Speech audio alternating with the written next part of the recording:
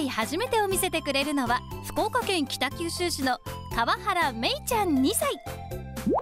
川原家の長女として生まれ好奇心旺盛で元気いっぱいな女の子です。そんなめいちゃんが今回体験したのは初めてのサンタさん。早速サンタさんがお家にやってきた。すると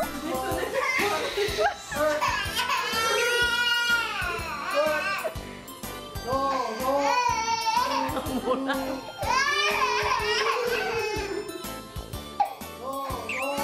タさんにびっくりしちゃったけどプレゼントはしっかりもらいました。その後はサンタさんからのプレゼントがお気に入りになっためいちゃんでした。これからもたくさんの体験が始まるね。初めてを体験するお子様を紹介しませんか？